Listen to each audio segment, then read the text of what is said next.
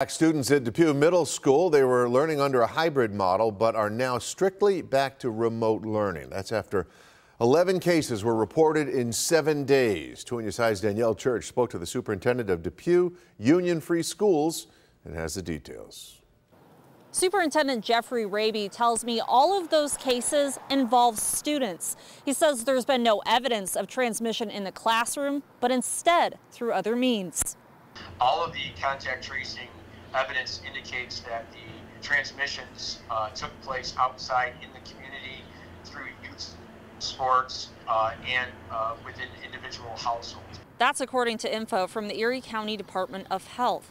Now Depew Middle School students are learning from home until April 12th. The outbreak at the school is just the latest example of an uptick of cases within Erie County schools, especially in private schools who have already adopted the CDC's new three-foot social distancing rule. New York State has not updated those guidelines for its public schools.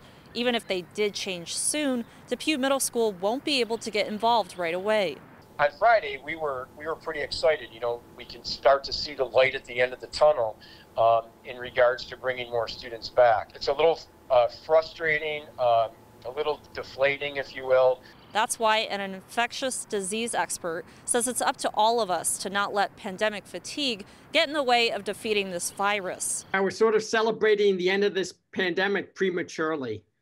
Uh, there's been some loosening of restrictions, some laxity in behaviors, and as a result, we're seeing an uptick in, in cases. He says we still have six to eight weeks more of this outbreak in Erie County, if not more. And he couldn't stress enough that we need to get more vaccines into people's arms. In Buffalo, Danielle Church, Channel 2 News.